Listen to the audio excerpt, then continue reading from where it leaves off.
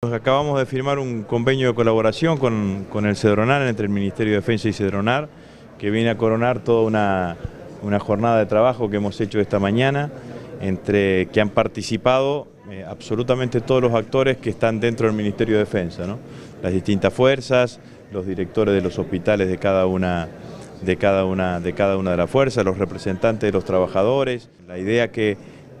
nos convocó fue eh, abordar la problemática de las adicciones desde la mirada de la prevención, que es lo que queremos, que es lo que queremos hacer y para eso el aporte de Cedronar es indispensable porque Cedronar nos va a capacitar seguramente eh, todos aquellos operadores eh, comunitarios o aquellos que tienen responsabilidades eh, institucionales para que puedan ser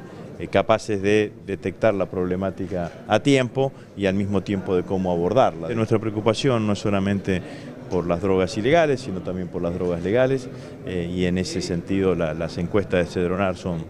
también claramente especificadoras, digamos, ¿no? Tenemos mayores problemas de consumo con drogas legales que con drogas ilegales, pero sobre todas las cosas lo, que buscamos es eh, generar dentro del marco del Ministerio de Defensa eh,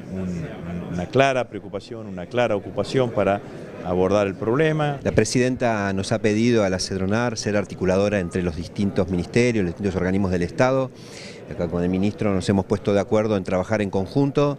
Eh, Hoy participamos de una jornada de, prevención, trabajando con las autoridades, entonces la idea es eso, también desde las fuerzas poder eh, articular la prevención en todos los espacios que la fuerza tiene, los liceos, los hospitales, la formación de su gente, eh, trabajar en conjunto, esa es la idea, de arriba para abajo y de abajo para arriba, desde eh, meternos a trabajar en conjunto en los liceos, donde están los estudiantes, hasta trabajar con los oficiales en programas en conjunto,